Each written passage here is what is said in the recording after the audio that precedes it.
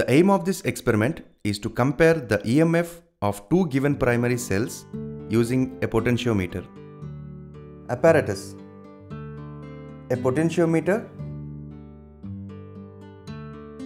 A battery eliminator. Galvanometer. Resistance box of 0 to 10,000 ohms. Jockey. One-way key. Two-way key.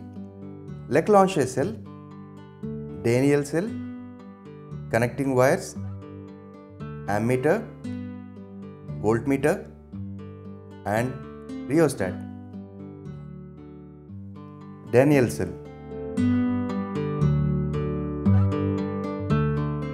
Now, let us go through the brief description of Daniell cell. The EMF of the Daniell cell is 1.1 volts a zinc rod is placed in a porous pot. This porous pot is filled with dilute sulfuric acid or acidulated zinc sulfate solution. The zinc rod acts as a negative terminal. The solution in the porous pot acts as an electrolyte. The copper vessel contains saturated copper sulfate solution. The copper vessel acts as a positive terminal. The copper sulfate acts as a depolarizer. Copper sulfate crystals are placed on the top of the vessel to maintain the concentration of the copper sulfate solution. Leclanché cell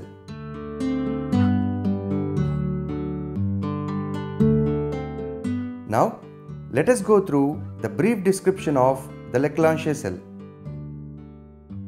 The EMF of the Leclanché cell is 1.5 volts a zinc rod is placed in the ammonium chloride solution.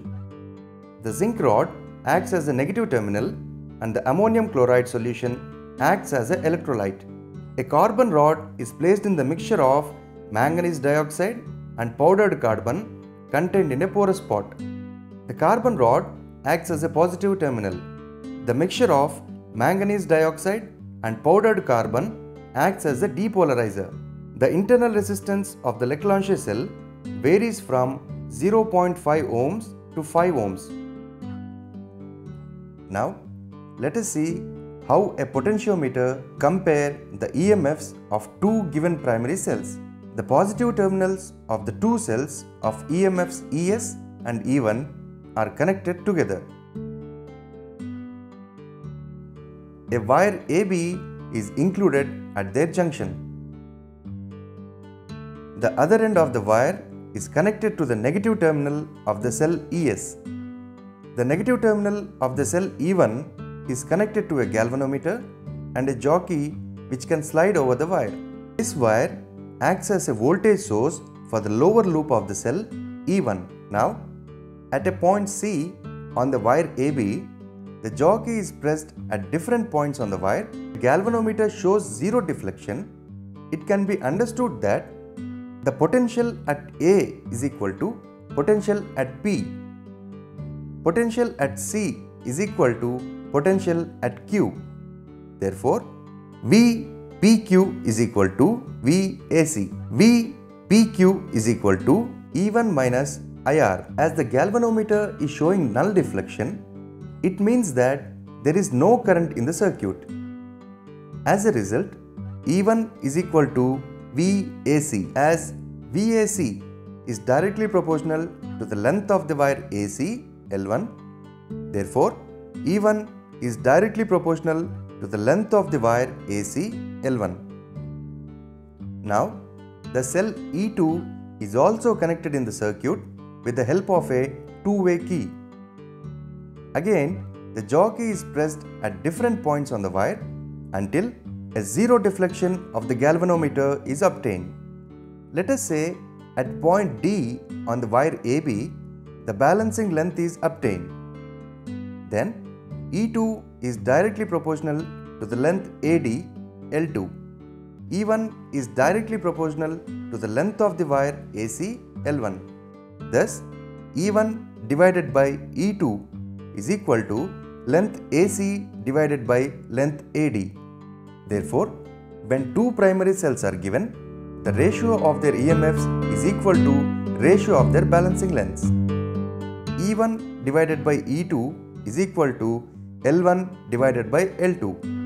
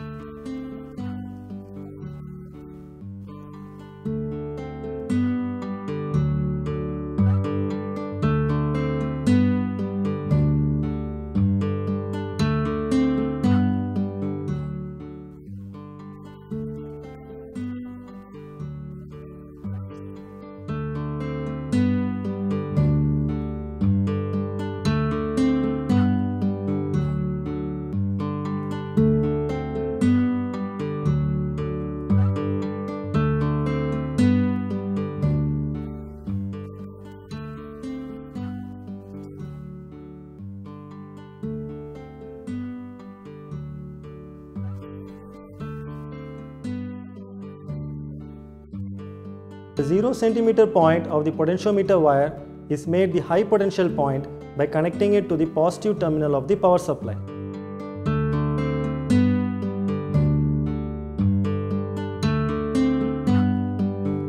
The 400 centimeter point of the potentiometer wire is made the low potential point by connecting it to the negative terminal of the power supply through a plug key, an ammeter and a rheostat.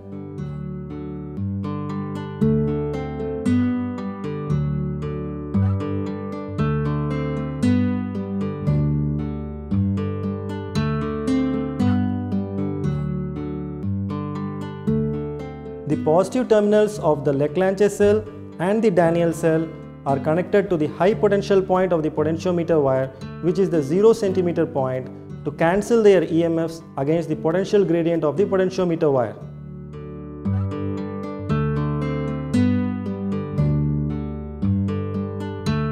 The negative terminal of the Leclanche cell which is the zinc rod is connected to the end A of the two-way key. The negative terminal of the Daniell cell which is again the zinc rod is connected to the end B of the two-way key.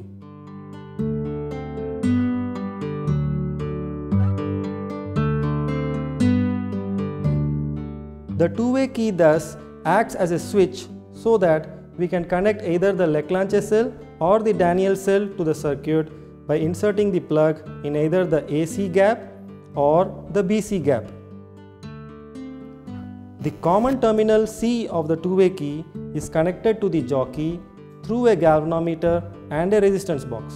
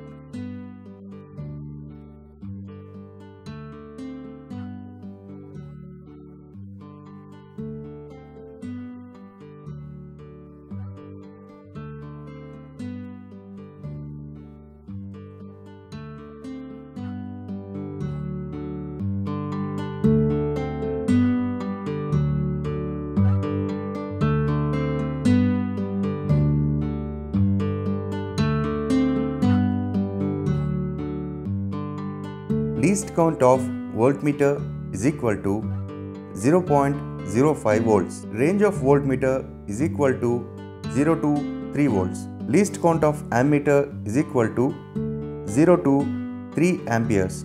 Range of ammeter is equal to 0.05 amperes. Number of wires on the potentiometer board are 4. Drop of potential across the battery eliminator E used in this experiment is 4 volts. Drop of potential across the Leclanché cell E1 is equal to 1.5 volts. Drop of the potential across the Daniell cell E2 is equal to 1.1 volts. Therefore, E is greater than E1 plus E2. Ammeter reading A is equal to 0.20 amperes. Balance point when E1 Leclanché cell is connected in the circuit L1 centimeters. In trial 1, it was 222 centimeters. In trial 2, it was 220 centimeters. Mean L1 is 221 centimeters. Balance point when E2 Daniell cell is connected in the circuit L2 centimeters. In trial 1, the balancing point was observed at 154 centimeters. In trial 2, it was 157 centimeters.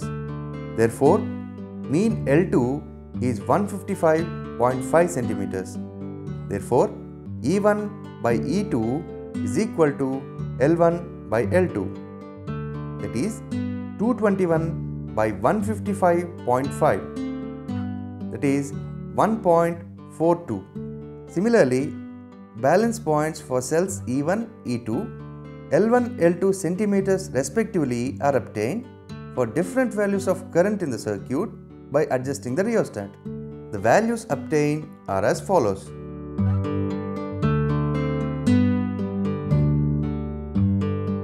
Mean value of EMFs is equal to 1.42 plus 1.39, 1.41 plus 1.41 divided by 4 that is 1.40.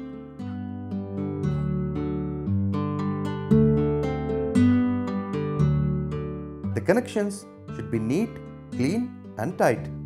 The key should be closed only when we are taking the readings. The jockey should not be pressed over the potentiometer wire. The ammeter reading should remain constant for a particular set of observations. If necessary, by adjusting the rheostat, make sure that the ammeter reading remains constant. The EMF of the battery should be greater than the sum of the EMFs of the two cells. Some high resistance should be introduced in the circuit before moving the jockey along the potentiometer wires. All the positive terminals of the battery eliminator, Daniell cell and the Leclanché cell should be connected at one point.